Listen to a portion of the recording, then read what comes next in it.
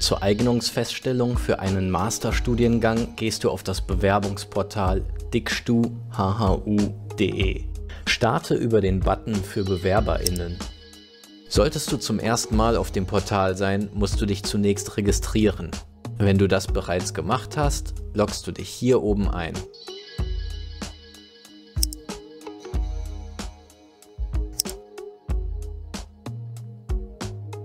Wähle deinen gewünschten Studiengang aus.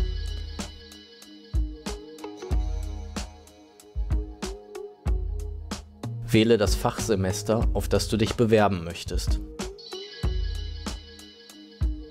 Hier wirst du nach deinem Abitur gefragt, zum Beispiel, wo du es erworben hast.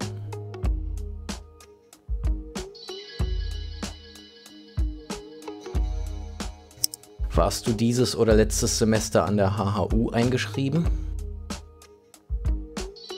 Steht deine Bachelor-Abschlussnote schon fest? Hier gibst du an, wie viele Credit Points du in welchen Themengebieten deines Studiums erworben hast. Sollte dein gewünschtes Studium teilweise in einer anderen Sprache als Deutsch unterrichtet werden, musst du hier nachweisen, dass du diese Sprache beherrschst. Welche Nachweise dafür in Frage kommen, erklären wir dir im Video Sprachnachweis.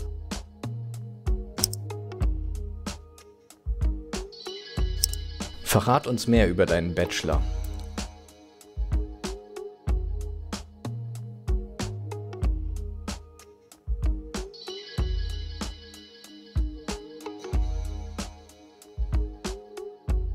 Hier musst du dein Zeugnis hochladen. Wenn du noch keins hast, genügt erst einmal die Leistungsübersicht. Wie viele Credit Points hast du bis jetzt erworben? Und wie viele werden es nach deinem Bachelor insgesamt sein? An welcher Hochschule hast du deinen Bachelor gemacht? Solltest du dieses Semester an der HHU eingeschrieben sein und schon im nächsten Semester dein Masterstudium beginnen wollen, brauchst du dein bisheriges Studium nicht beibehalten. Du klickst hier also auf Nein. Jetzt musst du nur noch hier deine Angaben kontrollieren, ihre Korrektheit mit einem Häkchen bestätigen und auf Antrag abgeben klicken. Hier siehst du deinen versendeten Antrag. Er ist bei der HHU eingegangen. Nach einigen Wochen, wenn ein Studienangebot für dich vorliegt, erhältst du einen Zulassungsbescheid. Wenn du dich für dieses Studium endgültig entscheiden möchtest, musst du auf Dickstu dieses Zulassungsangebot annehmen. Danach musst du dich für den Studiengang einschreiben.